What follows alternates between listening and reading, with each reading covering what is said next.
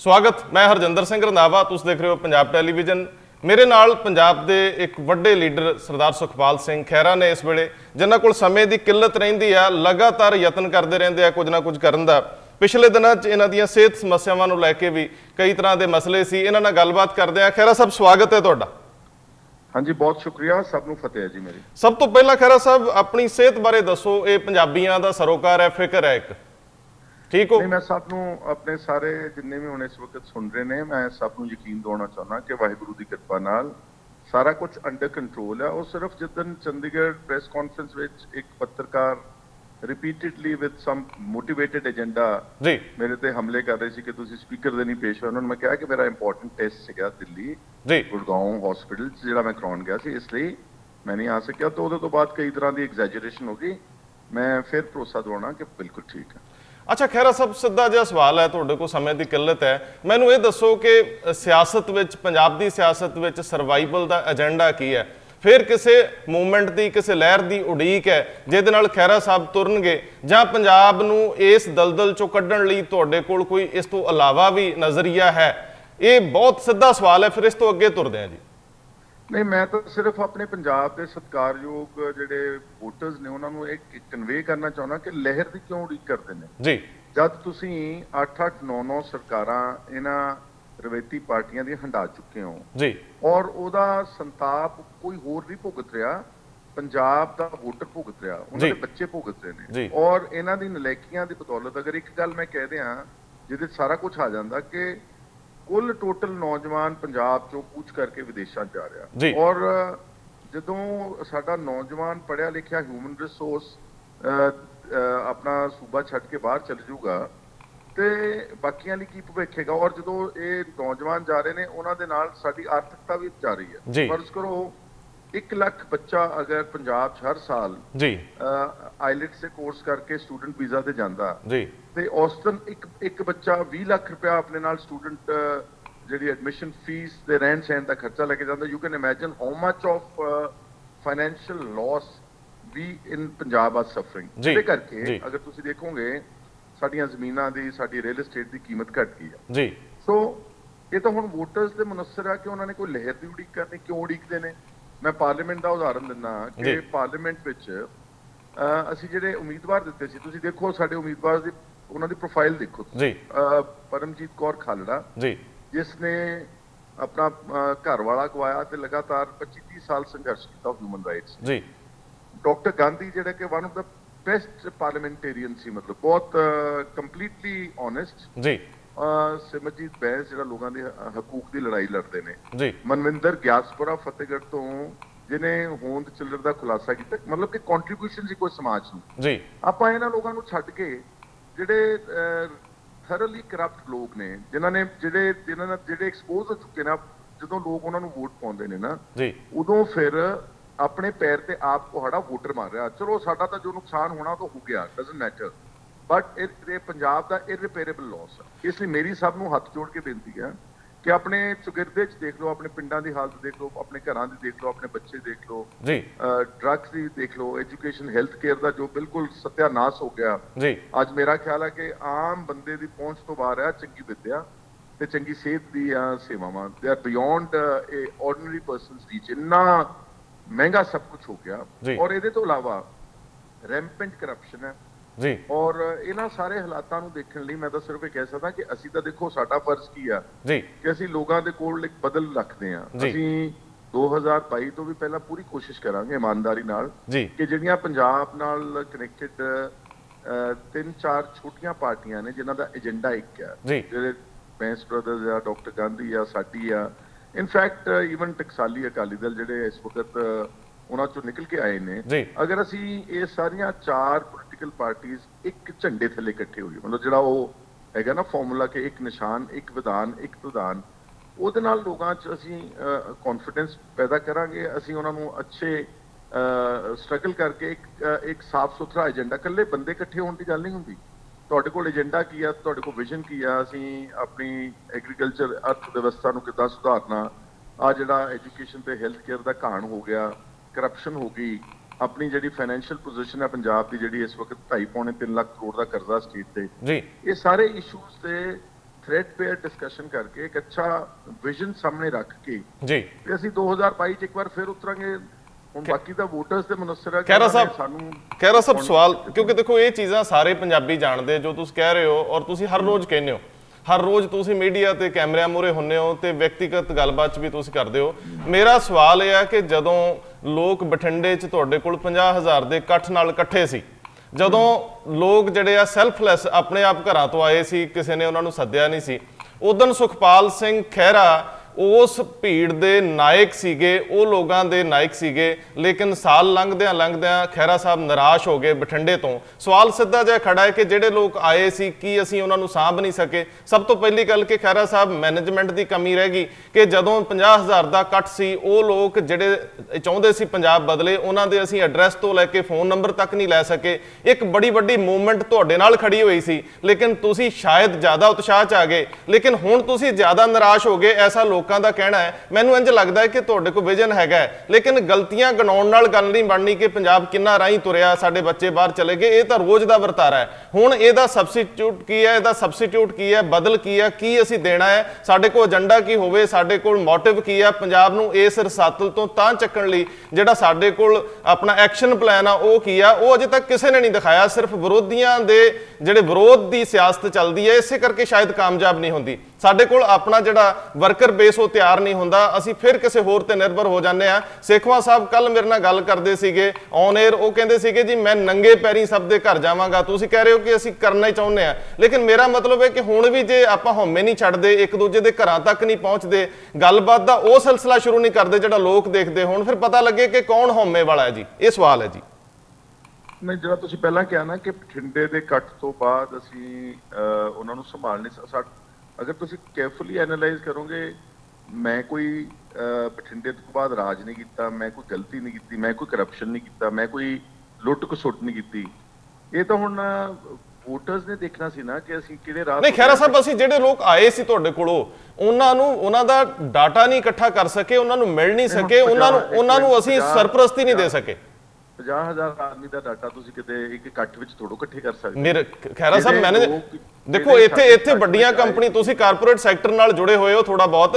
ਇੱਥੇ ਵੱਡੇ ਵੱਡਾ ਜਿਹੜਾ ਵਾ ਉਹ ਡਾਟਾ ਕਿੰਨੇ ਸੀ? ਤੁਸੀਂ 100 ਬੰਦਾ 150 ਵਲੰਟੀਅਰ ਲਾ ਦਿੰਦੇ ਇਸੇ ਕੰਮ ਲਈ। ਕਿੰਨੀਆਂ ਕਰੋਸ ਸੀਗੀਆਂ? ਕਿੰਨੀ ਗੱਲ ਸੁਣੋ। ਇਦਾਂ ਨਹੀਂ ਹੁੰਦਾ ਜੀ ਇਦਾਂ ਪੋਲੀਟੀਕਲ ਨਹੀਂ ਆਉਂਦੇ। ਜਿਹੜੇ ਲੋਕ ਆਪਣੇ ਆ ਜਿਹੜੇ ਉਦਣ ਆਏ ਨੇ ਜੀ। ਉਹ ਤੋਂ ਪਹਿਲਾਂ ਸਾਡੇ ਕੋਲ ਕਿਹੜਾ ਡਾਟਾ ਸੀਗਾ? ਜੀ। ਉਹਨਾਂ ਨੂੰ ਪਤਾ ਸੀਗਾ ਕਿ ਅਸੀਂ ਕਿਸ ਮਕਸਦ ਲਈ ਜਾ ਰਹੇ ਹਾਂ। ਉਸ ਤੋਂ ਬਾਅਦ ਬਰਗਾੜੀ ਵਿੱਚ ਵੀ ਬਹੁਤ ਲੋਕ ਵੱਡੇ ਪੱਧਰ ਦੇ ਉੱਤੇ ਆਏ। ਨਹੀਂ ਸਰ ਨਹੀਂ ਖੈਰਾ ਸਾਹਿਬ ਬਠਿੰਡੇ 'ਚ ਜਿਹੜੇ ਆਏ ਸੀ ਉਹ ਸਿਰਫ ਖੈਰਾ ਲਈ ਆਏ ਸੀ। ਲੇਕ ਦੇਖੋ ਤੁਹਾਡੇ ਨਾਲ ਜ਼ਿਆਦਤੀ ਹੋਈ ਲੋਕਾਂ ਦੀ ਹਮਦਰਦੀ ਲਹਿਰ ਚੱਲੀ ਤੁਸੀਂ ਲੋਕ ਨਾਇਕ ਬਣ ਗਏ। ਮੇਰਾ ਖਿਆਲ ਮੈਂ ਦਰਜਣਾ ਟੀਵੀ ਚੈਨਲਸ ਤੇ ਵਿਦੇਸ਼ਾਂ ਦੇ ਵਿੱਚ ਗੱਲਬਾਤ ਕੀਤੀ ਲੋਕਾਂ ਨੇ ਮੈਨੂੰ ਲਾਈਨ ਤੇ ਲਿਆ। ਮੈਂ ਕਹਿੰਦਾ ਸੀਗਾ ਕਿ ਇੱਕ ਮੂਵਮੈਂਟ ਬਣ ਗਈ ਆ ਜੇ ਇਹਨੂੰ ਕੋਈ ਸਾਂਭੇ। ਤੁਹਾਡੇ ਇਸੇ ਨੰਬਰ ਤੇ ਕਈ ਲੋਕਾਂ ਨੇ ਕਾਲਸ ਕੀਤੀਆਂ ਮੈਂ ਮੁੱਦਾ ਉਠਾਇਆ ਸੀ ਕਿ ਇਹਨੂੰ ਇਹਨਾਂ ਲੋਕਾਂ ਦਾ ਸਿਰਫ ਡਾਟਾ ਇਕੱਠਾ ਕਰ ਲਓ ਤੁਹਾਨੂੰ ਪੰਜਾਬ 'ਚ ਦੂਜੀ ਵਾਰੀ ਕੁਝ ਕਰਨ ਦੀ ਲੋੜ ਨਹੀਂ ਇਹ ਉਹ ਲੋਕ ਆ ਜਿਹੜੇ ਖੈਰਾ ਨਾਲ ਦਿਲੋਂ ਹਮਦਰਦੀ ਲੈ ਕੇ ਆਏ ਆ ਲੇਕਿਨ ਖੈਰਾ ਸਾਹਿਬ ਫਿਰ ਇੱਕ ਸਾਲ ਨਿਕਲਦਿਆਂ ਨਿਕਲਦਿਆਂ ਤੁਸੀਂ ਪੁਰਾਣੀਆਂ ਪੁਰਾਣੀਆਂ ਪੋਲੀਟੀਕਲ ਪਾਰਟੀਆਂ ਵਾਂਗ ਹੀ ਸਰਵ ਕੀਤਾ ਉਵੇਂ ਹੀ ਤੁਸੀਂ ਲੋਕਾਂ 'ਚ ਵਿਚਰੇ ਉਵੇਂ ਹੀ ਰੈਲੀਆਂ ਕੀਤੀਆਂ ਤੁਸੀਂ ਇੱਕ ਜਗ੍ਹਾ ਬੈਠ ਕੇ ਪੰਜਾਬ ਨੂੰ ਕੀ ਦੇਣਾ ਹੈ ਕਿਸ ਤਰ੍ਹਾਂ ਦਾ ਏਜੰਡਾ ਹੋਵੇ ਕਿਸ ਤਰ੍ਹਾਂ ਦੀ ਨੀਤੀ ਹੋਵੇ ਉਹ ਤੇ ਸ਼ਾਇਦ ਘੱਟ ਕੰਮ ਕੀਤਾ ਇਲਜ਼ਾਮ ਨਹੀਂਗਾ ਮੈਨੂੰ ਲੱਗਦਾ ਤੁਸੀਂ ਹੰਡਾਇਆ।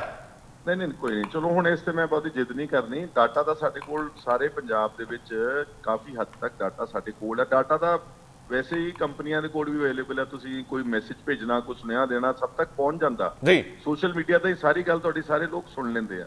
ਅਸਲ ਕਹਾਣੀ ਕੀ ਆ ਕਿ ਜਿਹੜੀਆਂ ਦੋ ਪੁਰਾਣੀਆਂ ਪੋਲੀਟੀਕਲ ਟ੍ਰੈਡੀਸ਼ਨਲ ਪਾਰਟੀਆਂ ਇਹਨਾਂ ਕੋਲ ਬਹੁਤ ਸਾਧਨ ਨੇ। ਜੀ। ਇਹਨਾਂ ਦੇ ਕੋਲ ਇਹਨਾਂ ਨੇ ਸਰਕਾਰਾਂ ਹੰਡਾਈਆਂ ਨੇ। ਇਹਨਾਂ ਦੇ ਕੋਲ ਬਹੁਤ ਰਿਸੋਰਸਸ ਨੇ। ਜੀ। And adding up to that ਇੱਕ ਗਵਰਨਮੈਂਟ ਆਫ ਇੰਡੀਆ ਵੀ ਫੋਰਸ ਹੈ ਜੀ ਆ ਜਿਹੜੀ ਕਿ ਦੋ ਜਿਹੜੀਆਂ ਬਾਰਡਰ ਸਟੇਟਸ ਹਨ ਕਸ਼ਮੀਰ ਦੀ ਤੇ ਪੰਜਾਬ ਦੀ। ਇਹਨਾਂ ਨੂੰ ਡਿਫਰੈਂਟਲੀ ਟਰੀਟ ਕਰਦੀ ਹੈ ਅੱਛਾ। ਉਹਨਾਂ ਦੀ ਉਹਨਾਂ ਦੀਆਂ ਏਜੰਸੀਆਂ ਲੱਗੀਆਂ ਰਹਿੰਦੀਆਂ 24 ਘੰਟੇ ਕਿ ਕਿੱਥੇ ਜਿਹੜੀਆਂ ਇਮਰਜਿੰਗ ਫੋਰਸਸ ਆ ਜੀ।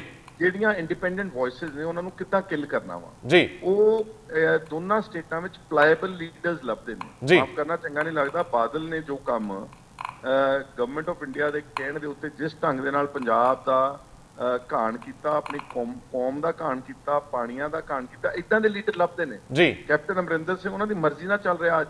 ਬੀਜੇਪੀ ਦੇ ਨਾਲ ਪੂਰੀ ਸਹਿਮਤੀ ਦੇ ਨਾਲ ਆ। ਅਗਰ ਉਹ ਕਹਿੰਦੇ ਨੇ ਕਿ ਕੋਰੀਡੋਰ ਤੇ ਕੋਈ ਬਿਆਨ ਦੇ ਪਾਕਿਸਤਾਨ ਦੇ ਖਿਲਾਫ ਉਹ ਪਹਿਲਾਂ ਦਿੰਦਾ ਵਾ। ਜੀ ਬਿਲਕੁਲ।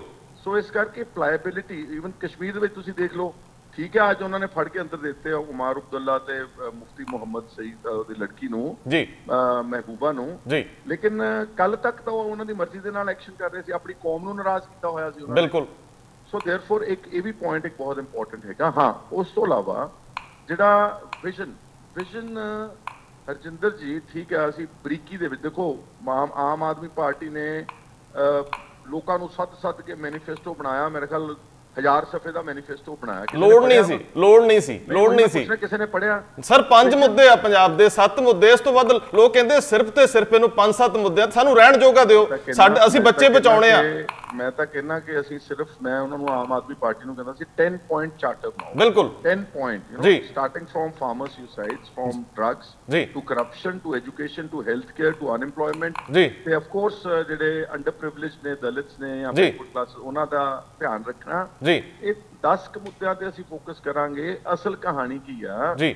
ਕਿ ਜਦ ਤੱਕ ਅਸੀਂ ਕਰਪਸ਼ਨ ਨੂੰ ਪੰਜਾਬ ਵਿੱਚ ਨੱਥ ਨਹੀਂ ਪਊਗੀ ਜਦ ਤੱਕ ਪੰਜਾਬ ਦੇ ਖਜ਼ਾਨੇ ਦੇ ਵਿੱਚ ਕੁਝ ਪੈਸਾ ਜਮਾ ਨਹੀਂ ਹੋਊਗਾ ਕੁਝ ਵੀ ਨਹੀਂ ਹੋਣਾ ਕੈਪਟਨ ਅਮਰਿੰਦਰ ਸਿੰਘ ਦੀ ਸਰਕਾਰ 2.5 ਸਾਲਾਂ 'ਚ ਮੈਨੂੰ ਇਮਾਨਦਾਰੀ ਨਾਲ ਦੱਸ ਦਿਓ। ਜੀ। ਇੱਕ ਵੀ ਪੋਜ਼ਿਟਿਵ ਕਦਮ ਚੁੱਕਿਆ ਉਹਨਾਂ ਨੇ। ਨਹੀਂ ਚੁੱਕਿਆ। ਜੀ। ਪਟ ਪਟਵਾਰੀਆਂ ਦੀਆਂ ਪੋਸਟਾਂ ਖਾਲੀ ਟੀਚਰ ਖਾਲੀ ਨੇ। ਡਾਕਟਰ ਖਾਲੀ ਨੇ ਕੋਈ ਤੁਸੀਂ ਸਰਕਾਰ ਦਾ ਵੀਡੀਓਜ਼ ਖਾਲੀ ਨੇ ਕਿਉਂ ਨਹੀਂ? ਕਿਉਂਕਿ ਕਿਉਂਕਿ ਸਰਕਾਰ ਕੋਲ ਪੈਸਾ ਹੈ। ਨਹੀਂਗਾ ਉਹ ਪੈਸਾ ਕਿੱਥੇ ਜਾ ਰਿਹਾ ਵਾ? ਅਕਸਰ ਕਿਤੇ ਤਾਂ ਪੈਸਾ ਖਰਚ ਹੋਇਆ ਵਾ ਲੋਕਾਂ ਨੇ ਤਾਂ ਹਰ ਕਿਸਮ ਦਾ ਟੈਕਸ ਅਦਾ ਕੀਤਾ ਵਾ।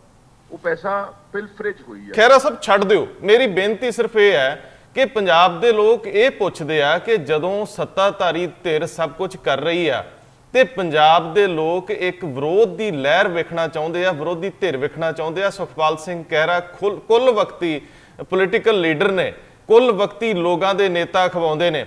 ਔਰ ਤੁ- ਤੁਸੀਂ ਕੱਲੇ ਕਿਉਂਕਿ ਹੁਣ ਕੱਲਿਆਂ ਦਾ ਜ਼ਮਾਨਾ ਨਹੀਂ ਰਿਹਾ ਤੇ ਕੱਲਿਆਂ ਨੂੰ ਲੋਕ ਪ੍ਰਵਾਨ ਵੀ ਨਹੀਂ ਕਰ ਰਹੇ। ਜਿੰਨੇ ਵੀ 10 12 ਲੋਕ ਹੈ ਆਪਣੀ ਜੇ ਹਉਮੈ ਸਾਰੇ ਛੱਡ ਦੇਣ, ਇਕੱਠੇ ਹੋ ਕੇ ਘੱਟੋ ਘੱਟ ਸਰਕਾਰ ਦੇ ਖਿਲਾਫ ਇੱਕ ਮੁੱਦੇ ਤੇ ਲੜਾਈ ਲੜਨ, ਜਿਹੜੀ ਗੱਲ ਤੁਸੀਂ ਇਹ ਕਹਿ ਰਹੇ ਹੋ ਕਹਿਣ ਨਾਲ ਹੁਣ ਗੱਲ ਨਹੀਂ ਬਣਨੀ ਕਿਉਂਕਿ ਉਹਨਾਂ ਨੇ ਕੰਨਾਂ 'ਚ ਤੇਲ ਪਾ ਲਿਆ। ਸੋਸ਼ਲ ਮੀਡੀਆ ਇੰਨਾ ਸਟਰੋਂਗ ਹੈ, ਲੇਕਿਨ ਸੁਣਦਾ ਕੋਈ ਨਹੀਂ। ਕਹਿੰਦਾ ਜਿੰਨੇ ਮਰਜ਼ੀ ਗਾਲਾਂ ਕੱਢ ਲਓ। ਕੈਪਟਨ ਅਮਰਿੰਦਰ ਸਿੰਘ ਦੀ ਫੇਸਬੁੱਕ ਤੇ ਇੱਕ ਪੋਸਟ ਆਉਂਦੀ ਹੈ ਥੱਲੇ ਹਜ਼ਾਰ ਬੰਦਾ ਗਾਲਾਂ ਕੱਢਦਾ ਹੈ। ਸੁਖਬੀਰ ਬਾਦਲ ਨੂੰ ਇੱਕ ਲਫ਼ਜ਼ ਦੇ ਉੱਤੇ ਹਜ਼ਾਰ ਲਫ਼ਜ਼ ਗਾਲਾਂ ਦੇ ਮਿਲਦੇ ਆ। ਲੇਕਿਨ ਉਹ ਢੀਠ ਹੋ ਗਿਆ। ਮੇਰਾ ਮਤਲਬ ਹੈ ਕਿ ਤੁਹਾਡੀ ਵਿਰੋਧ ਦੀ ਸੁਰ ਇੰਨੀ ਧੀਮੀ ਤੇ ਛੋਟੀ ਆ। ਲੋਕ ਸਮਝਦੇ ਆ ਕਿ ਅਸੀਂ ਨਿਹੱਥੇ ਹੋ ਗਏ, ਨਿਆਸਰੇ ਹੋ ਗਏ, ਸਾਡਾ ਕੋਈ ਵਾਲੀ ਵਾਰਸ ਨਹੀਂ ਰਿਹਾ। ਲੇਕਿਨ ਤੀਜੀ ਗੱਲ ਇਹ ਆ ਕਿ ਕੱਲ ਨੂੰ ਪੰਜਾਬ ਦੇ ਉੱਤੇ ਫੈਸਲਾ ਵੀ ਆਉਣਾ ਹੈ। ਲੇਕਿਨ ਮੈਨੂੰ ਨਹੀਂ ਲੱਗਦਾ ਕਿ ਪੰਜਾਬ ਦੇ ਵਿੱਚ ਅੱਜ ਕਿਸੇ ਨੇ ਤਿਆਰੀ ਕੀਤੀ ਆ ਔਰ ਕਿਸੇ ਨੇ ਪੰਜਾਬ ਦੇ ਵਿੱਚ ਵਿਰੋਧੀ ਧਿਰ ਉਸਾਰਨ ਦਾ ਯਤਨ ਕੀਤਾ, ਆਮ ਆਦਮੀ ਪਾਰਟੀ ਵਾਲੇ ਤੇ ਮਰ ਗਏ, ਉਹਨਾਂ ਨੂੰ ਤੇ ਪਤਾ ਹੀ ਕੱਖ ਨਹੀਂ ਭਗਵੰਤ ਮਾਨ ਦੀ ਹਉਮੈ ਏਡੀ ਵੱਡੀ ਹੋ ਗਈ ਹੈ ਕਿ ਪੰਜਾਬ ਉਹਦੇ ਲਈ ਬਹੁਤ ਛੋਟਾ ਹੈ। ਮੈਂ ਸੁਖਪਾਲ ਸਿੰਘ ਖਹਿਰਾ ਨੂੰ ਪੁੱਛਦਾ ਕਿ ਜਿਹੜੇ ਤੁਸੀਂ ਲਾਈਕ ਮਾਈਂਡਡ ਪੀਪਲ ਤੁਸੀਂ ਅਕਸਰ ਸ਼ਬਦ ਵਰਦੇ ਹੁੰਦੇ ਹੋ। ਹੁਣ ਉਹ ਕਿੱਥੇ ਚਲੇ ਗਏ ਆ? ਕਿਹੜੀ ਤਿਆਰੀ ਚ ਰੁੱਝੇ ਹੋ? ਕਿੰਨੇ ਸਾਲ ਲੱਗਣਗੇ? ਪੰਜਾਬ ਤਾਂ ਸਾਰਾ ਰੁਲ ਗਿਆ।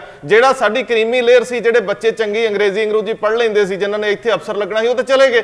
ਹੁਣ ਜਿਹੜੇ ਮੋਢਿਆਂ ਤੇ ਪਰਨੇ ਪਾ ਕੇ ਤੁਹਾਡੇ ਬਠਿੰਡੇ ਆਏ ਸੀ ਘੱਟੋ ਘੱਟ ਉਹਨਾਂ ਦਾ ਹੀ ਕੋ ਸੋਚ ਲਓ। ਤੁਹਾਨੂੰ ਨਹੀਂ ਲੱਗਦਾ ਕਿ ਹੁਣ ਤੁਹਾਨੂੰ ਨੰਗੇ ਪੈਰੀ ਨਿਕਲਣਾ ਚਾਹੀਦਾ? ਤੁਸੀਂ ਨੰਗੇ ਪੈਰੀ ਤਾਂ ਯਾਰ ਇੱਕ ਚਲੋ ਅੱਛੀ ਗੱਲ ਹੈ ਤੁਸੀਂ ਕਹਿੰਦੇ ਹੋ ਪਰ ਮੈਂ ਸਭ ਤੋਂ ਪਹਿਲਾਂ ਲੋਕ ਸਭਾ ਇਲੈਕਸ਼ਨ ਇਮੀਡੀਏਟਲੀ ਬਾਅਦ ਇਹ ਸੁਜੈਸਟ ਕੀਤਾ ਸੀਗਾ ਕਿ ਜਿਹੜੀਆਂ ਆਪਾਂ ਧਿਰਾਂ ਘੱਟੋ ਘੱਟ ਪਹਿਲਾਂ ਤਿੰਨ ਲੋਕ ਸਭਾ ਇਲੈਕਸ਼ਨ ਲੜੀਆਂ ਇਕੱਠੀਆਂ। ਜੀ। ਜਿਹਦੇ 'ਚ ਡਾਕਟਰ ਗਾਂਧੀ ਦੀ ਪਾਰਟੀ ਸਾਡੀ ਪਾਰਟੀ ਤੇ ਬੈਂਸ ਬ੍ਰਦਰ ਆਪਾਂ ਤਾਂ ਇੱਕ ਝੰਡੇ ਥੱਲੇ ਇਕੱਠੇ ਹੋ ਜੀ ਜੀ। ਹੁਣ ਅਸਲੀਅਤ ਇਹ ਆ ਕਿ we tried our best doctor Gandhi tried our best ਜੀ। ਅਨਫੋਰਚੂਨੇਟਲੀ ਜਾਂ ਤਾਂ ਕੋਈ ਸਮੇਂ ਦੀ ਘਾਟ ਸੀਗੀ ਜਾਂ ਉਹਨਾਂ ਨੇ ਮੇਰੇ ਖਿਆਲ ਬੈਂਸ ਬ੍ਰਦਰਸ ਨੇ ਆਪਣਾ ਸਾਡਾ ਪਾਣੀ ਸਾਡੇ ਹੱਕ ਦਾ ਪ੍ਰੋਗਰਾਮ ਉਡੀਕ ਕੇ ਤੁਰ ਪਏ। ਜੀ। ਉਹਨਾਂ ਵੱਲੋਂ ਬਿਫਿਟਿੰਗ ਰਿਸਪੌਂਸ ਨਹੀਂ ਆਇਆ ਉਦੋਂ ਤੱਕ। ਸਮਝ ਗਏ? ਅਸੀਂ ਉਹਨਾਂ ਨੂੰ ਕਈ ਤਰ੍ਹਾਂ ਦੇ ਟੈਲੀਫੋਨ ਕੀਤੇ ਕਈ ਤਰ੍ਹਾਂ ਦੇ ਉਹਨਾਂ ਨੂੰ ਮੈਸੇਜ ਛੱਡੇ। ਜੀ। ਅਨਫੋਰਚੂਨੇਟਲੀ ਉਹ ਨਹੀਂ ਆਇਆ। ਇਹਦੇ ਦਰਮਿਆਨ ਇੱਕ ਪੰਜ ਮੈਂਬਰ ਤਾਲਮੇਲ ਕਮੇਟੀ ਬਣੀ ਹੋਈ ਹੈ ਜਿਹੜੀ ਕਿ ਅਨਾਉਂਸ ਨਹੀਂ ਕੀਤੀ ਕਿਸੇ ਨੇ। ਖੈਰਾ ਸਾਹਿਬ ਇਹ ਵੀ ਇਹ ਵੀ ਇਹ ਵੀ ਗਿਣਤੀ ਮੈਨੂੰ ਕੰਪਲੀਟ ਕਰ ਲੈਣ। ਜੀ ਜੀ। ਕੁਝ ਚੰਡੀਗੜ੍ਹ ਦੇ ਵਿੱਚ ਚਿੰਤਿਤ ਲੋਕਾਂ ਦਾ ਇਕੱਠ ਹੋਇਆ ਸੀ ਅੱਜ ਤੋਂ ਕੋਈ 2 ਮਹੀਨੇ ਪਹਿਲਾਂ। ਜੀ। ਜਿਸ ਦੇ ਚ ਅੱਛੇ ਲੋਕ ਸੀ ਜਿਹਦੇ ਚ ਪ੍ਰੋਫੈਸਰ ਗੁਰਦਰਸ਼ਨ ਸਿੰਘ ਢਿੱਲੋਂ ਵਰਗੇ ਗੁਰਤੇਜ ਸਿੰਘ ਆਈਏਐਸ ਵਰਗੇ ਹਰਸਿਮਰਨ ਸਿੰਘ ਅਨੰਦਪੁਰ ਸਾਹਿਬ ਜਿਹੜੇ ਕੁਝ ਇੰਟੈਲੈਕਚੁਅਲ ਲੋਕ ਸੀ। ਜੀ। ਉਹਨਾਂ ਨੇ ਉਹਨਾਂ ਨੇ ਜੁਮਾ ਚੱਕਿਆ ਕਿ ਆਓ ਆਪਾਂ ਇਹਨਾਂ ਕੁਝ ਪਾਰਟੀਆਂ ਨੂੰ ਇਕੱਠੀਆਂ ਕਰੀਏ। ਉਹਨਾਂ ਨੇ ਇੱਕ ਪੰਜ ਮੈਂਬਰ ਕਮੇਟੀ ਬਣਾਈ ਹੈ। ਜੀ। ਉਹ ਕਮੇਟੀ ਅਨਾਉਂਸ ਨਹੀਂ ਕੀਤੀ ਗਈ ਪਬਲਿਕਲੀ ਕਿਉਂਕਿ ਅਸੀਂ ਸਹੀ ਮਿਆਨਾਂ 'ਚ ਅਸੀਂ ਚਾਹੁੰਦੇ ਹਾਂ ਕਿ ਜਿਹੜਾ ਵੀ ਕੰਮ ਹੈ ਪਹਿਲਾਂ ਬਿਹਾਈਂਡ ਦ ਸੀਨ ਪੂਰਾ ਕੀਤਾ ਜਾਵੇ ਕਿਉਂਕਿ। ਜਦੋਂ ਅਸੀਂ ਐਲਾਨੀਆਂ ਕਰਦੇ ਆ ਨਾ ਤੇ ਕਈ ਸਾਡੇ ਜਿਹੜੇ ਵਿਰੋਧੀ ਨੇ ਉਹ ਹਰਕਤ ਵਿੱਚ ਆ ਜਾਂਦੇ ਨੇ। ਬਿਲਕੁਲ। ਉਹ ਜਿਹੜੀ ਪੰਜ ਮੈਂਬਰ ਕਮੇਟੀ ਸੀ ਉਹਨੇ ਡਾਕਟਰ ਗਾਂਧੀ ਨੂੰ ਮਿਲੇ ਮੈਨੂੰ ਮਿਲੇ ਬੈਂਸ ਬ੍ਰਦਰਸ ਨੂੰ ਮਿਲੇ ਸੇਵਾ ਸਿੰਘ ਸੇਖਵਾ ਨੂੰ ਮਿਲੇ। ਇੱਕ ਗੁਪਤ ਥਾਂ ਤੇ ਲੁਧਿਆਣੇ ਜ਼ਿਲ੍ਹੇ ਦੇ ਵਿੱਚ ਮੀਟਿੰਗ ਤੈਅ ਹੋਈ। ਜੀ। ਉਹਨਾਂ ਵਿੱਚ ਅਨਫੋਰਚੂਨੇਟਲੀ ਤਿੰਨ ਧਿਰਾਂ ਪਹੁੰਚ ਗਈਆਂ ਇੱਕ ਧਿਰ ਫੇ ਨਹੀਂ ਪਹੁੰਚੀ। ਜੀ। ਉਹ ਮੀਟਿੰਗ ਅਸੀਂ ਕੰਕਲੂਡ ਨਹੀਂ ਕਰ ਸਕੇ ਅਸੀਂ ਉਸ ਮੀਟਿੰਗ ਨੂੰ ਦੁਬਾਰਾ ਰੀਫਿਕਸ ਕਰਨ ਜਾ ਰਹੇ ਹਾਂ ਸ਼ਾਰਟਲੀ ਆਉਣ ਵਾਲੇ ਦਿਨਾਂ ਦੇ ਵਿੱਚ। ਜੀ। ਇਹਦੇ ਦੌਰਾਨ ਹੀ ਜਿਹੜਾ ਉਹਨਾਂ ਦਾ ਬੈਸਟ ਬ੍ਰਦਰਸ ਨੇ ਇੱਕ 8 ਮੈਂਬਰੀ ਆਪਣੇ ਵੱਲੋਂ ਇੱਕ ਤਾਲਮੇਲ ਕਮੇਟੀ ਇੱਕ- ਪਾਰਟੀ ਦੀ 8 ਮੈਂਬਰੀ ਕਮੇਟੀ ਬਣਾਤੀ। ਅੱਛਾ। ਹੁਣ ਕੁਝ ਕੁਝ ਉਹਨਾਂ ਨੇ ਵੀ ਆਪਣੀ ਕੋਸ਼ਿਸ਼ਾਂ ਸ਼ੁਰੂ ਕੀਤੀਆਂ ਹੋਈਆਂ ਨੇ। ਸੋ ਕੁੱਲ ਮਿਲਾ ਕੇ ਜੋ ਮੈਂ ਕਹਿਣਾ ਚਾਹੁੰਦਾ ਆਪਾਂ ਥੋੜਾ ਜਿਹਾ ਪੇਸ਼ੈਂਸ ਰੱਖੀਏ।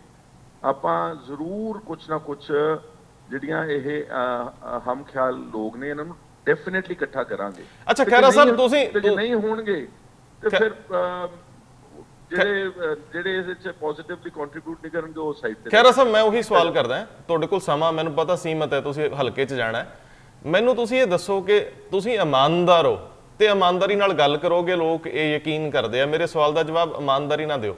ਆਪਣੇ ਲੋਕਾਂ ਦੀ ਹਉਮੈ ਕਿੱਡੀ ਕੁ ਵੱਡੀ ਹੈ ਤੁਸੀਂ ਵਿੱਚੇ ਹੀ ਆਪਣੇ ਆਪ ਨੂੰ ਸ਼ਾਮਲ ਕਰ ਲਓ ਤੇ ਵਿੱਚੇ ਹੀ ਬੈਂਸ ਨੂੰ ਕਰ ਲਓ। ਤੇ ਵਿੱਚੇ ਜਿਹੜੀਆਂ ਬਾਕੀ ਤੁਹਾਡੇ ਵਰਗੀਆਂ ਧਿਰਾਂ ਨੇ ਕਿ ਹਉਮੈ ਕਿੱਡੀ ਵੱਡੀ ਹੈ? ਹਉਮੈ ਛੱਡੀ ਕਿਉਂ ਨਹੀਂ ਜਾਂਦੀ? ਨਹੀਂ ਨਹੀਂ ਨਹੀਂ ਨਹੀਂ ਸਾਰੀਆਂ ਸਾਰੀਆਂ ਸਫਰ ਕਰ ਰਹੀਆਂ ਜਿਸ ਤਰ੍ਹਾਂ। ਮੈਂ ਮੈਂ ਸਭ ਨੂੰ ਭਰੋਸਾ ਦਿਵਾਉਣਾ ਚਾਹੁੰਦਾ ਵੀ ਯਕੀਨ ਰੱਖਿਓ ਕੋਈ ਹੋਮੇ ਨਹੀਂ। ਅੱਛਾ। ਇਲੈਕਸ਼ਨ ਤੋਂ ਪਹਿਲਾਂ ਪ੍ਰੋਬਲਮ ਇਹ ਸੀ ਹਰਜਿੰਦਰ ਜੀ ਕਿ ਸਾਡੇ ਕੋਲ ਨਾ ਸਮਾਂ ਨਹੀਂ ਸੀ। ਗੱਲ ਅਸੀਂ ਉਦੋਂ ਵੀ ਕੀਤੀ ਕਿ ਆਪਾਂ ਤਿੰਨ ਪਾਰਟੀਆਂ ਜਿਹੜੀਆਂ ਨਾ ਪੰਜਾਬ ਦੀਆਂ ਰੀਜਨਲ ਪਾਰਟੀਆਂ ਛੋਟੀਆਂ-ਛੋਟੀਆਂ ਜੀ। ਆਪਾਂ ਇੱਕ ਝੰਡੇ ਥੱਲੇ ਆ ਜੀ। ਉਦੋਂ ਉਧਰਲੇ ਪਾਸੇ ਅਸੀਂ ਪੰਜਾਬ ਡੈਮੋਕ੍ਰੈਟਿਕ ਅਲਾਈਅੰਸ ਘੜ ਰਹੇ ਸੀਗੇ। ਉਹਨਾਂ ਨੇ ਸਾਰਿਆਂ ਨੇ ਕਿਹਾ ਕਿ ਹੁਣ ਇੱਕ ਵਾਰੀ ਲੋਕ ਸਭਾ ਟਵਾ ਲਓ ਉਸ ਤੋਂ ਬਾਅਦ ਗੱਲ ਕਰ ਲਾਂਗੇ। ਇਹ ਤਿੰਨ ਇਹ ਇਹ ਤਿੰਨ ਜਾਂ ਚਾਰ ਪਾਰਟੀਆਂ ਮੈਨੂੰ ਪੂਰਨ ਆਸ ਆ ਕਿ ਉਹ ਥੋੜਾ ਸਮਾਂ ਟਪਾ ਕੇ ਇੱਕ ਝੰਡੇ ਥੱਲੇ ਇਕੱਠੇ ਹੋ ਜਾਣ। ਨਾਲੇ ਮੈਂ ਤੁਹਾਨੂੰ ਇਹ ਕਹਿਣਾ ਚਾਹੁੰਦਾ ਇੱਕ ਗੱਲ ਕਿ ਕੱਲਾ ਕੱਲਾ ਲੀਡਰਸ਼ਿਪ ਨਹੀਂ ਨਾ ਤੈਅ ਕਰਨੀ। ਪ੍ਰੋਗਰਾਮ ਵੀ ਤਾਂ ਤੈਅ ਕਰਨਾ ਨਾ ਸਰ ਮੈਂ ਉਹੀ ਕਹਿ ਰਿਹਾ ਮੇਰਾ ਮੇਰੇ ਦੋ ਸਵਾਲ ਮੇਰੇ ਦੋ ਸਵਾਲ ਨੇ ਇਹੀ ਸਵਾਲ ਹੈ ਇੱਕ ਲਾਸਟ ਦੋ ਸਵਾਲ ਨੇ। ਛੋਟਾ ਭਾਵੇਂ ਸੰਖੇਪ ਚ ਆਨਸਰ ਕਰ ਦਿਓ। ਸਭ ਤੋਂ ਪਹਿਲਾਂ ਕਿ ਜਦੋਂ ਤੁਸੀਂ ਲੋਕਾਂ 'ਚ ਜਾਣ ਤੋਂ ਪਹਿਲਾਂ ਏਜੰਡਾ ਸੈੱਟ ਕਰਨਾ ਹੈ ਤੁਹਾਨੂੰ ਲੱਗਦਾ ਹੈ ਕਿ ਇਸ ਵੇਲੇ ਤਰਜੀਹੀ ਆਧਾਰ ਤੇ ਪ੍ਰਾਥਮਿਕ ਤੌਰ ਤੇ ਪੰਜਾਬ ਦੀਆਂ ਉਹ ਕਿਹੜੀਆਂ ਲੋੜਾਂ ਨੇ ਜਿਨ੍ਹਾਂ ਨਾਲ ਅਸੀਂ ਪੰਜਾਬ ਦੇ ਮਰਦੇ ਇਸ ਜਿਸਮ ਦੇ ਵਿੱਚ ਇਸ ਸਿਸਟਮ ਵਿਵਸਥਾ 'ਚ ਪਾਣੀ ਪਾ ਸਕਦੇ ਇਹਦੇ ਮੂੰਹ 'ਚ? ਉਹ ਦੋ ਤਿੰਨ ਚੀਜ਼ਾਂ ਔਰ ਦੂਜਾ ਸਵਾਲ ਮੇਰਾ ਉਸ ਤੋਂ ਬਾਅਦ ਹੈ ਸਿਰਫ ਇਹ ਮੈਨੂੰ ਸਿਰਫ ਪਹਿਲਾਂ ਇੱਕ ਇੱਕ ਕਰਕੇ ਇਹਦਾ ਜਵਾਬ ਦੇ ਦਿਓ। ਸਿਰਫ ਦੋ ਤਿੰਨ ਮਿੰਟ ਹੋਰ ਲਵਾਂਗੇ ਜ਼ਿਆਦਾ ਨਹੀਂ। ਕਿਹੜਾ ਕਿਹੜਾ ਤੁਹਾਡੇ ਕੋਲ ਇਸ ਤਰ੍ਹਾਂ ਦਾ ਤੁਹਾਨੂੰ ਲੱਗਦਾ ਹੈ ਕਿ ਆਪਾਂ ਕਰਨਾ ਕੀ ਹੈ ਤੁਰੰਤ ਕੀ ਕਰਨ ਦੀ ਜ਼ਰੂਰਤ ਹੈ? ਕਿਉਂਕਿ ਆਮ ਲੋਕਾਂ ਨਾਲੋਂ ਤੁਸੀਂ ਜ਼ਿਆਦਾ ਸਮਝਦੇ ਹੋ ਚੀਜ਼ਾਂ ਨੂੰ। ਦੇਖੋ ਇੱਕਦਮ ਤਾਂ ਮੈਂ ਹੁਣ ਟੈਲੀਫੋਨ ਟਾਕ ਤੇ ਆਪਣਾ ਸਾਰਾ ਵਿਜ਼ਨ ਆਊਟਲਾਈਨ ਨਹੀਂ ਕਰ ਸਕਦਾ ਲੇਕਿਨ ਕਿਹੜੇ ਜਿਹੜੇ ਇਸ਼ੂਜ਼ ਨੇ ਨਾ ਜੀ ਇੱਕ ਤਾਂ ਦੇਖੋ ਪੰਜਾਬ ਬੇਸਿਕਲੀ ਐਗਰੀਰੀਅਨ ਸਟੇਟ ਆ। ਜੀ। ਪੰਜਾਬ ਲੈਂਡਲੌਕ ਸਟੇਟ ਆ। ਸਾਡੇ। ਕੋਲ ਕੋਈ ਬੰਦਰਗਾਹ ਨਹੀਂ ਗੀ। ਬਿਲਕੁਲ। ਸਾਡਾ ਕੁੱਲ ਟੋਟਲ ਜਿਹੜਾ ਤਰੱਕੀ ਕਰਨ ਦਾ ਰਾਹ ਹੈਗਾ ਵਾ ਉਹ ਖੇਤੀ ਤੇ ਆਧਾਰਿਤ ਹੈ ਤੇ ਖੇਤੀ ਨਾਲ ਪਾਣੀ ਕਨੈਕਟਡ ਆ। ਬਿਲਕੁਲ। ਕੱਲ ਤੁਸੀਂ ਕਿਹਾ ਕਿ ਐਸਵਾਈਐਲ ਦਾ ਫੈਸਲਾ ਆ ਰਿਹਾ ਸਾਨੂੰ ਪਤਾ ਵਾ ਕਿ ਐਸਵਾਈਐਲ ਦਾ ਫੈਸਲਾ ਆ ਰਿਹਾ ਵਾ। ਔਰ ਇਹਦੀ ਤੁਸੀਂ ਕਿਹਾ ਕੋਈ ਕੋਈ ਤਿਆਰੀ ਨਹੀਂ ਗਈ ਇਹ ਵੀ ਮੈਂ ਤੁਹਾਡੇ ਨਾਲ ਸਹਿਮਤ ਹਾਂ ਕਿ ਜਿਹੜੀਆਂ ਟ੍ਰੈਡੀਸ਼ਨਲ ਪਾਰਟੀਆਂ ਉਹਨਾਂ ਨੇ ਗੋਂਗਲੂਆਂ ਤੋਂ ਮਿੱਟੀ ਝਾੜਦੇ ਨੇ ਜਿੱਦਾਂ ਪਿਛਲੀ ਵਾਰੀ ਝਾੜੀ ਸੀ ਜਦੋਂ ਐਸਵਾਈਐਲ ਦਾ ਫੈਸਲਾ ਆਇਆ। ਜੀ। 18 ਮੇਰੇ ਖਿਆਲ ਕੋਈ ਮਹੀਨਾ ਡੇਢ ਮਹੀਨਾ ਰਹਿ ਗਿਆ ਸੀ ਵਿਧਾਨ ਸਭਾ ਦੀ ਟਰਮ ਖਤਮ ਹੋਣ ਤੇ ਕਾਂਗਰਸ ਨੇ ਕਿਹਾ ਸੀ ਅਸਤੀਫੇ ਦਿੰਨੇ ਆ ਬਾਦਲ ਸਾਹਿਬ ਨੇ ਕਿਹਾ ਜੀ ਮੈਂ ਜਿਹੜੀ ਉਹ ਐਸਵਾਈਐਲ ਦੀ ਜ਼ਮੀਨ ਐਕਵਾਇਰ ਕੀਤੀ ਸੀ ਮੈਂ ਉਹ ਸਾਰੀ ਜਿਹੜੀ ਹੈਗੀ ਡੀਨੋਟੀਫਾਈ ਕਰਦਾ। ਜੀ। Those was just political moves ਜੀ। ਉਹਦੇ ਤੋਂ ਬਾਅਦ ਕਿਸੇ ਪੋਲੀਟੀਕਲ ਮੇਜਰ ਇਹਨਾਂ ਪਾਰਟੀਆਂ ਨੇ ਉਹਦੇ ਤੇ ਕੋਈ ਐਕਸ਼ਨ ਨਹੀਂ ਲਿਆ। ਜੀ। ਔਰ ਕੱਲ ਅਗਰ ਸੁਪਰੀਮ ਕੋਰਟ ਤੋਂ ਸਾਡਾ ਫੈਸਲਾ ਉਲਟ ਆਉਂਦਾ। ਜੀ। ਹੁਣ ਉਹਦੇ ਚ ਪਹਿਲਾ ਕਦਮ ਤੇ ਇਹੀ ਹੈ ਨਾ ਸਾਡੇ ਚ ਜਾਨ ਚਾਹੀਦੀ ਆ ਜੀ। ਕਿ ਅਸੀਂ ਪੰਜਾਬ ਦੀ ਵਿਧਾਨ ਸਭਾ ਦਾ ਐਮਰਜੈਂਸੀ ਸੈਸ਼ਨ ਸੱਦੀਏ। ਬਿਲਕੁਲ। ਚਾਹੇ ਸੁਪਰੀਮ ਕੋਰਟ ਆ ਚਾਹੇ ਕੋਈ ਕੋਰਟ ਆ ਜੀ। ਪੰਜਾਬ ਵਿਧਾਨ ਸਭਾ ਆਟੋਨੋਮਸ ਬਾਡੀ ਆ ਅਸੀਂ ਉਸ ਫੈਸਲੇ ਨੂੰ ਰਿਜੈਕਟ ਕਰ ਦਈਏ। ਬਿਲਕੁਲ ਠੀਕ ਹੈ। ਇਹ ਕਾਵੇਰੀ ਵਾਟਰਸ ਤੇ ਇੱਕ ਵਾਰ ਜਿਹੜਾ ਕਰਨਾਟਕਾ ਤੇ ਤਾਮਿਲਨਾਡੂ ਦਾ ਝਗੜਾ ਤੁਸੀਂ ਜੇ ਗੂਗਲ ਤੇ ਰਿਸਰਚ ਕਰੋਗੇ ਕਿ ਸੁਪਰੀਮ ਕੋਰਟ ਨੇ ਡਾਇਰੈਕਸ਼ਨ ਦਿੱਤੀਆਂ ਸੀ ਕਰਨਾਟਕਾ ਨੂੰ ਕਿ ਤੁਸੀਂ 10000 ਕਿਊਸਕ ਪਾਣੀ ਰੋਜ਼ ਤਾਮਿਲਨਾਡੂ ਨੂੰ ਛੱਡਣਾ ਸੁਪਰੀਮ ਕੋਰਟ ਦਾ ਫੈਸਲਾ ਸੀ। ਬੜੀ ਮਾਸ ਮੂਵਮੈਂਟ ਪੈਦਾ ਹੋ ਗਈ ਸੀ ਉਦੋਂ ਜੀ। ਕਰਨਾਟਕਾ ਨੇ ਕਰਨਾਟਕਾ ਨੇ ਆਪਣਾ ਵਿਧਾਨ ਸਭਾ ਦਾ ਸੈਸ਼ਨ ਸੱਦ ਕੇ ਜੀ। ਉਹ ਸੁਪਰੀਮ ਕੋਰਟ ਦੇ ਫੈਸਲੇ ਨੂੰ ਰਿਜੈਕਟ ਕਰਤਾ। ਹੁਣ ਦੇਖਣ ਵਾਲੀ ਗੱਲ ਇਹ ਆ ਕਿ ਅਗਰ ਫੈਸਲਾ ਕੋਈ ਸਾਡੇ ਉਲਟ ਅਗਰ ਕੀ ਸਾਡੇ ਉਲਟੀ ਹੋਣਾ ਉਹ ਤਾਂ 100% ਤੈਅ ਵਾ। ਕੁਦਰਤੀ ਹੈ। ਕੀ ਕੀ ਅਮਰਿੰਦਰ ਸਿੰਘ ਉਸ ਪਲੇਟਫਾਰਮ ਤੋਂ। ਇਸ ਫੈਸਲੇ ਨੂੰ ਰਿਜੈਕਟ ਕਰਨ ਦੀ ਹਿੰਮਤ ਰੱਖਦੇ ਨੇ ਨੰਬਰ 1 ਜੀ। ਨੰਬਰ 2 ਜਿਹੜਾ ਅਕਾਲੀ ਦਲ ਦਾ ਰੋਲ ਆ ਬਹੁਤ ਡਿਊਬੀਅਸ ਆ। ਜੀ। ਇਸੇ ਹੀ ਲੋਕ ਸਭਾ 'ਚ ਇੱਕ ਇੰਟਰਸਟੇਟ ਵਾਟਰਸ ਡਿਸਪਿਊਟ ਟ੍ਰਿਬਿਊਨਲ ਇੱਕ ਬਿੱਲ ਪਾਸ ਕੀਤਾ ਗਿਆ ਵਾ ਜਿਹੜੇ ਜਿਹੜੇ ਅਧਿਕਾਰ ਸੀ ਨਾ ਸਾਰੇ ਦਰਿਆਵੀ ਦਰਿਆਵੀ ਪਾਣੀਆਂ ਦੇ ਝਗੜਿਆਂ ਦੇ ਜਿਹੜੇ ਪਹਿਲਾਂ ਲੋਕਲ ਲੈਵਲ ਤੇ ਜਾਂ ਲੋਕਲ ਹਾਈ ਕੋਰਟਸ ਡੀਲ ਕਰ ਸਕਦੇ ਸੀ ਜਾਂ ਲੋਕਲ ਟ੍ਰਿਬਿਊਨਲਸ ਡੀਲ ਕਰ ਸਕਦੇ ਸੀ ਬੀਜੇਪੀ ਦੀ ਗਵਰਨਮੈਂਟ ਨੇ ਉਹ ਸਾਰੇ ਅਧਿਕਾਰ ਇਨਕਰੋਚ ਕਰਕੇ ਗਵਰਨਮੈਂਟ ਆਫ ਇੰਡੀਆ ਨੇ ਆਪਣੇ ਕੋਲ ਲੈ ਲਏ ਨੇ। ਜੀ। ਔਰ ਉਹ ਬਿੱਲ ਦਾ ਸਮਰਥਨ ਸੁਖਬੀਰ ਬਾਦਲ ਨੇ ਕੀਤਾ ਵਾ। ਜੀ। ਉਹਨੂੰ ਪਤਾ ਵਾ ਕਿ ਸਭ ਤੋਂ ਪਹਿਲਾਂ ਸ਼ਿਕਾਰ ਆਪਾਂ ਹੋਣਾ ਵਾ। ਔਰ ਉਹਦੇ ਵਿੱਚ ਕਲੌਜ਼ ਜਿਹੜਾ 14 ਲਿਖਿਆ ਉਸ ਇੰਟਰਸਟੇਟ ਵਾਟਰਸ ਡਿਸਪਿਊਟ ਬਿੱਲ ਦਾ ਉਹਦੇ 14 ਨੰਬਰ ਕਲੌਜ਼ ਦੇ ਉੱਤੇ ਲਿਖਿਆ ਹੋਇਆ ਕਿ ਰਾਵੀ ਬਿਆਸ ਦਾ ਜਿਹੜਾ ਪਾਣੀ ਦਾ ਟ੍ਰਿਬਿਊਨਲ ਪੰਜਾਬ ਦ- ਜਿਹੜਾ ਚੱਲ ਰਿਹਾ ਟਸਲ ਚੱਲ ਰਹੀ ਇਹਨੂੰ ਸਕ੍ਰੈਪ ਕਰਦੇ ਹਾਂ ਅਸੀਂ। ਬਿਲਕੁਲ ਜੀ। ਗਵਰਨਮੈਂਟ ਆਫ ਇੰਡੀਆ ਨੇ ਕਿਹਾ ਅਧਿਕਾਰ ਅਸੀਂ ਆਪਣੇ ਕੋਲ ਲੈਣੇ ਹੁਣ। ਜਿਹੜੀ ਸਰਕਾਰ ਜੰਮੂ ਕਸ਼ਮੀਰ ਦੇ ਦੋ ਟੋਟੇ ਕਰਕੇ ਉਹਨਾਂ ਨੂੰ ਸਬਕ ਸਿਖਾਉਣ ਲਈ ਯੂਨੀਅਨ ਟੈਰੀਟਰੀ ਬਣਾ ਸਕਦੀ ਆ। ਜੀ। ਤੁਹਾਨੂੰ ਲੱਗਦਾ ਵਾ ਕਿ ਉਹਦੇ ਤੋਂ ਕੋਈ ਸਾਨੂੰ ਉਮੀਦ ਹੈ ਕਿ ਸਾਡੇ ਦਰਿਆਈ ਪਾਣੀਆਂ ਦੇ ਕਦੀ ਵੀ ਕੋਈ- ਪਾਏਦਾਰ ਹੱਲ ਕੱਢਣਗੇ? ਸਵਾਲ ਹੀ ਪੈਦਾ ਨਹੀਂ ਸਵਾਲ ਹੀ ਪੈਦਾ ਦੇ ਲੋਕਾਂ ਨੂੰ ਜੀ। ਆਪ ਤਤਪਰ ਪੋਲੀਟੀਕਲ ਕੱਲ ਨੂੰ ਜਾਂ ਜਿੱਦਨ ਵੀ ਇਹ ਫੈਸਲਾ ਹੁੰਦਾ ਇਮਤਿਹਾਨ ਹੈ ਇਹਨਾਂ ਦੀ ਘੜੀ ਦਾ ਤੁਹਾਨੂੰ ਪਤਾ ਲੱਗ ਜਾਵੇਗਾ। Burning issues basically starts from agriculture connected with water ਜੀ। ਆ ਜਿਹੜਾ ਹੁਣ ਦੇਖੋ ਨਾ ਪਾਣੀ ਕਿੰਨਾ ਆਇਆ ਪੰਜਾਬ ਦੇ ਕੋਲ ਮੈਨੇਜਮੈਂਟ ਕੁਝ ਨਹੀਂ ਕੀ ਪਤਾ ਹੀ ਕੁਝ ਨਹੀਂ ਕਰਨਾ ਕੀ ਅਸੀਂ। ਬਿਲਕੁਲ ਕੋਈ ਕੋਈ ਬਾਰਿਸ਼ ਨਹੀਂ ਪਈ ਕੁਝ ਨਹੀਂ ਪਿਆ। ਔਰ ਬੀਬੀਐਮਬੀ ਦਾ ਚੇਅਰਮੈਨ ਦੇਖੋ ਕਿੱਡਾ ਅਹ, ਸ਼ਾਤਰ ਆ। ਉਹ ਕਹਿੰਦਾ ਅਸੀਂ ਬੀਬੀਐਮ ਭਾਗੜਾ ਤੋਂ ਪਾਣੀ ਛੱਡਿਆ ਹੀ ਨਹੀਂਗਾ। ਤੇ ਇਹ ਤਾਂ 6 ਨਦੀਆਂ ਦਾ ਪਾਣੀ ਸਤਲੁਜ ਦੇ ਦਰਿਆ ਦੇ ਵਿੱਚ ਆ ਗਿਆ ਤਾਂ ਹੜ ਆ ਗਿਆ। ਤੇ ਮੇਰਾ ਜਿਹੜਾ ਹਲਕਾ ਭਲਾਥਾ ਇਹ ਬਿਆਸ ਦਰਿਆ ਦੇ ਨਾਲ 50 ਕਿਲੋਮੀਟਰ ਲੱਗਦਾ। ਬਿਆਸ ਵੀ ਹਿਮਾਚਲ ਚ ਉਤਰਦਾ ਵਾ। ਜੀ। ਬਿਆਸ ਵਿੱਚ ਵੀ ਨਦੀਆਂ ਨਾਲੇ ਪੈਂਦੇ ਨੇ। ਜੀ। ਹਿਮਾਚਲ ਵਿੱਚ ਉਹੀ ਬਾਰਿਸ਼ ਪਈ ਹੈ ਜਿਹੜੀ ਸਤਲੁਜ ਦੇ ਉੱਤੇ ਪਈ ਹੈ ਉਹੀ ਬਿਆਸ ਦੇ ਉੱਤੇ ਪਈ ਹੈ। ਜੀ। ਇੱਥੇ ਇੱਥੇ ਕੋਈ ਪਾਣੀ ਨਹੀਂ ਆਇਆ। ਕਹਿਣ ਤੋਂ ਭਾਵ ਕਿ ਇਹ ਕਨਸਪੀਰੇਸੀ ਸੀਗੀ to rob our waters further ਉਹ ਕੱਲ ਨੂੰ ਸੁਪਰੀਮ ਕੋਰਟ 'ਚ ਇਹ ਦਲੀਲ ਕਹਿਣਗੇ ਕਿ ਜੀ ਪੰਜਾਬ ਕੋਲ ਤਾਂ ਇੰਨਾ ਪਾਣੀ ਹੈ ਤਾਂ ਹੜ੍ਹ 'ਚ ਫਸੇ ਪਏ ਨੇ। ਸਰ ਰੋਣਾ ਰੋਣਾ ਤੇ ਇਸੇ ਗੱਲ ਦਾ ਸੀ ਨਾ ਕਿ ਜਦੋਂ ਇਸ ਤਰ੍ਹਾਂ ਹੋ ਰਿਹਾ ਸੀ ਭਾਖੜਾ ਮੈਨੇਜਮੈਂਟ ਬੋਰਡ ਕਰ ਰਿਹਾ ਸੀ ਉਦੋਂ ਤੁਸੀਂ ਤੇ ਤੁਹਾਡੀਆਂ ਹਮਖਿਆਲ ਪਾਰਟੀਆਂ ਵੀ ਪੰਜਾਬ ਦੇ ਲਈ ਕਿਤੇ ਇੱਕ ਪਲੇਟਫਾਰਮ ਤੇ ਇਕੱਠੀਆਂ ਹੋ ਕੇ ਸੰਘਰਸ਼ ਕਰਦੀਆਂ ਨਜ਼ਰ ਨਹੀਂ ਆਈਆਂ। ਵਿਜ਼ਿਟ ਕਰਨੀ ਲੋੜਵੰਦਾਂ ਕੋ ਜਾਣਾ ਇਹ ਅਲੱਗ ਇਸ਼ੂ ਆ ਲੇਕਿਨ ਕਿਸੇ ਦੇ ਨੱਕ 'ਚ ਦਮ ਕਰ ਦੇਣਾ ਸਰਕਾਰਾਂ ਦੇ ਉਹ ਤੁਸੀਂ 10 20 ਲੋਕ ਇਕੱਠੇ ਹੋ ਕੇ ਕਰ ਸਕਦੇ ਸੀ। ਲੇਕਿਨ ਆਖਰੀ ਸਵਾਲ ਹੈ ਆਖਰੀ ਸਵਾਲ ਹੈ ਸਰ ਮੈਨੂੰ ਮੇਰੀ ਬੇਨਤੀ ਹੈ ਕਿ ਮੰਨ ਲਓ ਕਿ ਹੁਣ ਤੁਸੀਂ ਇਕੱਠੇ ਹੋ ਜਾਂਦੇ ਹੋ। ਫਿਰ ਤੁਸੀਂ ਉਡੀਕ ਕਰੋਗੇ ਕਿ ਲੋਕ ਤੁਹਾਡੇ ਮਗਰ ਆਉਣ ਜਾਂ ਇੱਕ ਪ੍ਰਕਿਰਿਆ ਸ਼ੁਰੂ ਕਰੋਗੇ ਕਿ ਪੰਜਾਬ ਦੇ ਲੋਕਾਂ ਨੂੰ ਇੱਕ ਨਵੀਂ ਪਾਰਟੀ ਦੇਣ ਲਈ ਜਾਂ ਇੱਕ ਧਿਰ ਦੇਣ ਲਈ ਜਿਹੜੇ ਲਾਈਕ ਮਾਈਂਡਡ ਪਿੰਡਾਂ ਸ਼ਹਿਰਾਂ 'ਚ ਬੈਠੇ ਆ ਉਹਨਾਂ ਦੀਆਂ ਇੰਟਰਵਿਊਜ਼ ਕਿਉਂਕਿ ਤੁਹਾਡੇ ਕੋਲ ਵੀ ਚਾਪਲੂਸ ਕਿਸਮ ਦੇ ਲੋਕਾਂ ਦਾ ਘੇਰਾ ਮੈਂ ਨਾ ਗਣਾ ਸਕਦਾ ਮੈਂ ਲੈਣੇ ਨਹੀਂ। ਵੱਖ-ਵੱਖ ਖੇਤਰਾਂ 'ਚੋਂ ਮਾਝੇ 'ਚੋਂ ਵੀ ਲੋਕ ਸੀਗੇ ਜਿਹੜੇ ਨਕਾਰੇ ਹੋਏ ਸੀ ਮੁੜ ਕੇ ਉਹ ਤੁਹਾਡੀਆਂ ਉਹ ਕਈ ਤਰ੍ਹਾਂ ਦੇ ਮਸਲੇ ਸੀਗੇ। ਲੋਕ ਆਮ ਤੌਰ ਤੇ ਸਾਡੇ ਕੋਲ ਕਮੈਂਟ ਕਰਕੇ ਦੱਸਦੇ ਆ। ਮੇਰਾ ਸਿੱਧਾ ਸਵਾਲ ਹੈ ਕਿ ਕੀ ਕੋਈ ਇਸ ਤਰ੍ਹਾਂ ਦੀ ਪ੍ਰਕਿਰਿਆ ਸ਼ੁਰੂ ਕਰੋਗੇ ਜਿਹਦੇ ਨਾਲ ਤੁਸੀਂ ਪੜ੍ਹੇ ਲਿਖੇ ਲੋਕਾਂ ਨੂੰ ਸਿਆਸਤ ਵਿੱਚ ਲਿਆਉਣ ਦਾ ਯਤਨ ਕਰੋਗੇ? ਜੇ ਅਸੀਂ ਛੋਟੀ ਜੀ ਪੋਸਟ ਲਈ ਕੋਈ ਬੰਦਾ ਅਪਾਇੰਟ ਕਰਨਾ ਹੋਵੇ ਤੇ ਅਸੀਂ ਇੰਨੀ ਲੰਬੀ ਪ੍ਰਕਿਰਿਆ ਰੱਖਦੇ ਹਾਂ ਪੈਨਲ ਕ੍ਰੀਏਟ ਕਰਦੇ ਹਾਂ ਉਸ ਤੋਂ ਬਾਅਦ ਫੈਸਲਾ ਕਰਦੇ ਹਾਂ ਕਿ ਇਹ ਕਾਬਲ ਹੈ ਸਾਨੂੰ ਕੁਝ ਦੇ ਸਕਦਾ ਕਿ ਨਹੀਂ। ਤੁਸੀਂ ਸਿਆਸਤ ਕਰਨੀ ਆ ਸਟੇਟ ਨੂੰ ਸਰਵ ਕਰਨਾ ਇੱਥੇ ਪਾਲਿਸੀਜ਼ ਬਣਨੀਆਂ ਨੇ ਤੇ ਤੁਹਾਡੇ ਲੋਕ ਜਿਹੜੇ ਸਭ ਤੋਂ ਵੱਡੇ ਗੋਡੀਆਂ ਥਲਾਉਣ ਵਾਲੇ ਹੁੰਦੇ ਉਹੀ ਅਹੁਦੇ ਲੈ ਜਾਂਦੇ ਤੁਸੀਂ ਉਹ ਜਾਂ ਬਾਕੀ ਪਾਰਟੀਆਂ। ਉਹਦਿਆਂ ਦਾ ਨਹੀਂ ਗੱਲ ਹੁੰਦੀ ਮੇਰੀ ਗੱਲ ਸਮਝਣ ਦੀ ਕੋਸ਼ਿਸ਼ ਕਰੋ ਜਿਹੜਾ ਪੋਲੀਟੀਕਲ ਜਿਹੜਾ ਪ੍ਰੋਸੈਸ ਹੈਗਾ ਨਾ ਜੀ। ਇਹਦੇ ਵਿੱਚ ਹਰ ਵਿਅਕਤੀ ਨੂੰ ਆਪਣਾ ਟਾਈਮ ਸਪੇਅਰ ਕਰਨਾ ਪੈਂਦਾ। ਜੀ। ਆਪਣੇ ਘਰ-ਬਾਰ ਦੇ ਕੰਮ ਛੱਡ ਕੇ ਘਰੋਂ ਬਾਹਰ ਪੈਰ ਰੱਖ ਕੇ ਗਤੀਵਿਧੀਆਂ ਵਿੱਚ ਹਿੱਸਾ ਲੈਣਾ ਪੈਂਦਾ। ਜੀ। ਇਹ ਨਾ ਆਮ ਤੌਰ ਤੇ ਤੁਹਾਨੂੰ ਲੱਗਦਾ ਹੀ ਹੁੰਦਾ ਵਾ ਅਸੀਂ ਵੀ ਤਾਂ ਜੇ ਆਪਾਂ ਕਹੀਏ ਕਿ ਹੁਣ ਲੋਕਾਂ ਨੂੰ ਘਰਾਂ ਚੋਂ ਜਾ ਕੇ ਲੱਭ-ਲੱਭ ਕੇ ਕੱਢ ਕੇ ਨਾਲ ਲੈ ਕੇ ਆਈਏ ਉਹ ਵੀ ਸਾਡੇ ਲਈ ਵੀ ਇੰਨਾ ਪੋਸੀਬਲ ਨਹੀਂਗਾ ਸਾਡੇ ਕੋਲ ਜਿਹੜੇ ਲੋਕ ਵਿਲਿੰਗਲੀ ਵੋਲੰਟੀਅਰ ਕਰਦੇ ਨੇ ਸਾਡੇ ਨਾਲ ਸਾਡੇ ਇਸ ਕੰਮ ਵਿੱਚ ਪਾਰਟਿਸਿਪੇਟ ਕਰਨ ਲਈ ਅਸੀਂ ਉਹਨਾਂ ਵਿੱਚੋਂ ਅੱਗੇ ਚੱਕਣੇ ਨਾ ਬੰਦੇ। ਨਹੀਂ ਸਰ ਛੋਟੀ ਜਿਹੀ ਛੋਟੀ ਜਿਹੀ ਬੇਨਤੀ ਹੈ ਤੁਸੀਂ ਠੀਕ ਹੈ ਮੇਰਾ ਮੇਰਾ ਮਤਲਬ ਹੈ ਕਿ ਮੰਨ ਲਓ ਤੁਹਾਡੇ ਕੋਲ ਚਾਰ ਜ਼ਮੀਨੀ ਚੋਣਾਂ ਜਿਹੜੇ ਹੋਣੀਆਂ ਜੀ। ਅੱਛੇ ਲੋਕ ਨੇ ਜਿਹੜੇ ਅੱਛੇ ਪੜ੍ਹੇ ਲਿਖੇ ਲੋਕ ਨੇ ਉਹ ਆਪ ਵੋਲੰਟੀਅਰ ਕਿਉਂ ਨਹੀਂ ਕਰਦੇ? ਉਹ ਕਿ ਕੇਵਲ ਡਰਾਇੰਗ ਰੂਮ ਡਿਸਕਸ਼ਨਸ ਤੱਕ ਮਹਦੂਦ ਕਿਉਂ ਰਹਿੰਦੇ ਸਰ ਨਹੀਂ ਤੁਸੀਂ ਫੁੱਲ ਫੁੱਲ ਟਾਈਮ ਸਰ ਤੁਸੀਂ ਹੋਲਡ ਕੋਲ ਲੈਟਸ ਸੇ ਅਗਰ ਲੈਟਸ ਸੇ ਜੀ। ਸਾਡੇ ਕੋਲ ਕੋਈ ਅੱਛਾ ਕੋਈ ਪ੍ਰੋਫੈਸਰ ਜਾਂ ਡਾਕਟਰ ਜਾਂ ਐਡਵੋਕੇਟ ਹੁੰਦਾ ਸੀ ਉਹਨੂੰ ਨਾ ਥੋੜੋ ਕਰਦੇ ਆ। ਸਰ ਮੈਂ ਮੈਂ ਮੈਂ ਮੈਂ ਸੁਖਪਾਲ ਖਹਿਰਾ ਨਾਲ ਗੱਲ ਕਰ ਰਿਹਾ ਜਿਹੜੇ ਇੱਕ ਬਹੁਤ ਪੜ੍ਹੇ ਲਿਖੇ ਤੇ ਸੁਲਝੇ ਇਨਸਾਨ ਨੇ। ਮੈਂ ਕਿਸੇ ਹੋਰ ਪੋਲੀਟੀਸ਼ੀਅਨ ਨਾਲ ਗੱਲ ਕਰਾਂ ਤੇ ਉਹ ਸ਼ਾਇਦ ਮੇਰਾ ਫੋਨ ਕੱਟ ਦੂਗਾ ਲੇਕਿਨ ਮੈਂ ਤੁਹਾਨੂੰ ਪੁੱਛਦਾ ਹਾਂ ਕਿ ਜਦੋਂ ਲੋਕ ਨਿਰਾਸ਼ ਹੋ ਕੇ ਘਰਾਂ 'ਚ ਬੈਠੇ ਆ ਜਾਂ ਤੁਸੀਂ ਕਹਿੰਦੇ ਹੋ ਕਿ ਡਰਾਇੰਗ ਰੂਮ 'ਚ ਬੈਠੇ ਆ ਵਿਸਕੀ ਦੇ ਪੈਗ ਤੇ ਚਾਹ ਦੀ ਚੁਸਕੀ ਤੇ ਹੀ ਗੱਲ ਕਰਦੇ ਬਾਹਰ ਨਹੀਂ ਆਉਂਦੇ।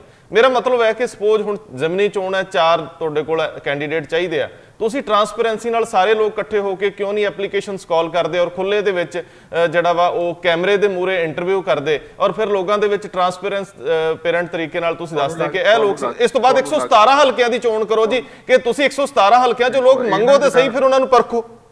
ਇਹ ਜਿਹੜਾ ਤੁਸੀਂ ਗੱਲ ਕਰ ਰਹੇ ਇਹ ਆਦਰਸ਼ਵਾਦੀ ਗੱਲ ਹੈ। ਬਹੁਤ ਸੁਣੀ ਫਿਰ ਫਿਰ ਕੀ ਕਰਾਂਗੇ? ਨਹੀਂ ਇਹ ਦਰਸ਼ ਮੇਰੀ ਗੱਲ ਰੱਖਾਂਗੇ। ਕੀ ਕਰਾਂਗੇ ਜੀ? ਜਿਮਨੀ ਚੋਣ ਲੜਨ ਲਈ ਤੁਹਾਨੂੰ ਤੁਹਾਨੂੰ ਤੁਸੀਂ ਤੁਹਾਨੂੰ ਅਹਿਸਾਸ ਹੈ ਕਿੰਨੇ ਪੈਸੇ ਚਾਹੀਦੇ ਨੇ? ਤੁਹਾਨੂੰ ਅਹਿਸਾਸ ਹੈ ਕਿ ਜਿਮਨੀ ਚੋਣ ਕਾਂਗਰਸ ਤੇ ਅਕਾਲੀ ਦਲ ਦੇ ਮੁਕਾਬਲੇ ਸਰਕਾਰ ਦੇ ਮੁਕਾਬਲੇ ਕਿਸੇ ਬੰਦੇ ਨੂੰ ਖੜਾ ਕਰਨਾ ਉੱਥੇ ਸਿਰਫ ਉਹਨੂੰ ਸਸਟੇਨ ਕਰਨਾ ਹਾਊ ਡਿਫਿਕਲਟ ਇਟ ਇਜ਼ ਪਰ ਤੁਸੀਂ ਉਹੀ ਤਰੀਕਾ ਕਿਉਂ ਅਪਣਾਉਣਾ ਚਾਹੁੰਦੇ ਹੋ ਜਿਹੜੇ ਅਕਾਲੀ ਦਲ ਤੇ ਕਾਂਗਰਸ ਅਪਣਾ ਰਹੀ ਹੈ? ਫਿਰ ਸੁਖਪਾਲ ਸਿੰਘ ਖਹਿਰਾ ਕਿਵੇਂ ਚੇਂਜ ਲਿਆਓਗੇ? ਫਿਰ ਤੁਸੀਂ ਇੱਕ ਸਿਸਟਮ ਬਦਲ ਕੇ ਦੂਜਾ ਸਿਸਟਮ ਉਂਝ ਦਾ ਹੀ ਪੈਦਾ ਕਰਨਾ ਚਾਹੁੰਦੇ ਹੋ? ਫਿਰ ਲੋਕ ਤਾਂ ਇਹੀ ਕਹਿਣਗੇ ਨਾ ਕਿ ਅੱਜ ਇੰਨੇ ਪੈਸੇ ਲਾਏ ਆ ਕੱਲ ਨੂੰ ਵਾਪਸੀ ਵੀ ਆ। ਜੇ ਕਾਰਪੋਰੇਟ ਤੁਹਾਨੂੰ ਵੀ ਪੈਸੇ ਲਾਊਗਾ ਤੇ ਉਹਨੂੰ ਦਿਓਗੇ ਨਹੀਂ ਕੋਈ ਸਹੂਲਤ? ਨਹੀਂ ਪੈਸਾ ਨਹੀਂ ਮੈਂ ਕਹਿ ਰਿਹਾ। ਮੈਂ। ਪੈਸਾ ਨਹੀਂ ਕਹਿੰਦਾ ਮੈਂ ਤਾਂ ਤੁਹਾਨੂੰ ਕਹਿ ਰਿਹਾ ਕਿ ਜਿਮਨੀ ਚੋਣ ਬਹੁਤ ਔਖਾ ਇਮਤਿਹਾਨ ਆ। ਜਿਮਨੀ ਚੋਣ ਨੂੰ ਹਲੇ ਫੋਰ ਪੈਮਾਨਾ ਨਾ ਬਣਾਓ ਇਹਨੂੰ ਆਪਾਂ ਸਾਈਡ ਤੇ ਰੱਖੋ ਚਲੋ ਅਸੀਂ 117 ਲਈ ਕਰ ਲੈਨੇ ਆ 22 ਲਈ ਕਰ ਲੈਨੇ ਜੀ। ਆਉਣ ਵਾਲੇ ਸਮੇਂ 'ਚ ਸਭ ਤੋਂ ਪਹਿਲਾਂ ਨਾ ਦੋ ਗੱਲਾਂ ਦੀ ਇੰਪੋਰਟੈਂਸ ਹੈ ਜੀ। ਜੀ। ਕਿ ਸਭ ਤੋਂ ਪਹਿਲਾਂ ਜਿਹੜੀਆਂ ਅਸੀਂ ਆ ਚਾਰ ਧਿਰਾਂ ਆਪਸ ਵਿੱਚ ਬੈਠ ਕੇ ਜੀ। ਇਹਦਾ ਆਉਣ ਵਾਲੇ ਸਮੇਂ ਦਾ ਪ੍ਰੋਗਰਾਮ ਉਲੀਕੀਏ। ਸਰਲ ਤੇ ਸਾਫ਼ ਤੇ ਸੁਥਰਾ ਤੇ ਤੇ ਜਿਹੜਾ ਆਮ ਜਨਤਾ ਨੂੰ ਸਮਝ ਆਵੇ। ਬਿਲਕੁਲ। ਤੇ ਇੱਕ ਝੰਡੇ ਥੱਲੇ ਇਕੱਠੇ ਕਰੀਏ। ਇਹ ਦੋ ਜਿੱਦਣ ਗੱਲਾਂ ਅਸੀਂ ਕਰ ਲਵਾਂਗੇ ਨਾ ਉਦਣ ਕਾਫੀ ਹੱਦ ਤੱਕ ਪੰਜਾਬ ਦੀ ਫਿਜ਼ਾ ਵਿੱਚ ਤਬਦੀਲੀ ਆਵੇਗੀ ਲੇਕਿਨ ਉਹਨੂੰ ਟਾਈਮ ਲੱਗ ਰਿਹਾ ਵਾ। ਤੁਸੀਂ ਇੱਕ ਮਿੰਟ ਐ ਕਰੋ ਤੁਸੀਂ ਕੋਈ ਘਰਾਂ ਦਾ ਝਗੜਾ ਹੋ ਜਾਂਦਾ ਤੁਹਾਡਾ ਖਿਆਲ ਹੈ ਇੱਕ ਸਿਟਿੰਗ 'ਚ ਖਤਮ ਹੋ ਜਾਂਦਾ ਝਗ- ਝਗੜਾ ਕਰਦਾ ਨਹੀਂ ਹੁੰਦਾ ਨਹੀਂ ਹੁੰਦਾ। ਇਟ ਟੇਕਸ ਟਾਈਮ ਅੱਛਾ ਖੈਰਾ ਖੈਰਾ ਸਾਹਿਬ ਤੋਂ ਉਮੀਦ ਲੋਕ ਰੱਖ ਲੈਣ ਕਿ ਨਾ? ਤੁਸੀਂ ਬਹੁਤੇ ਨਿਰਾਸ਼ ਤਾਂ ਨਹੀਂ ਕਿਉਂਕਿ ਤੁਹਾਡੇ ਨਾਲ ਵੀ ਜੱਗੋਂ 13ਵੀਂ ਹੋਈ ਆ ਲੋਕਾਂ ਨੇ ਤੁਹਾਨੂੰ ਬਿਲਕੁਲ ਨਾਇਕ ਵਾਂਗ ਲੈ ਕੇ ਫਿਰ ਪਟਕ ਕੇ ਜ਼ਮੀਨ ਤੇ ਸੁੱਟਿਆ ਬਠੰਡੇ 'ਚ। ਤੁਹਾਨੂੰ ਇਹ ਚੋਂ ਨਿਕਲਦਿਆਂ ਕਿੰਨਾ ਸਮਾਂ ਲੱਗਿਆ? ਔਰ ਤੁਸੀਂ ਭਵਿੱਖ ਲਈ ਕਿੰਨੀ ਕੁ એનર્ਜੀ ਇਕੱਠੀ ਕਰੀ ਬੈਠੇ ਹੋ ਕਿਤੇ ਫਿਰ ਨਿਰਾਸ਼ ਤਾਂ ਨਹੀਂ ਹੋਵੋਗੇ?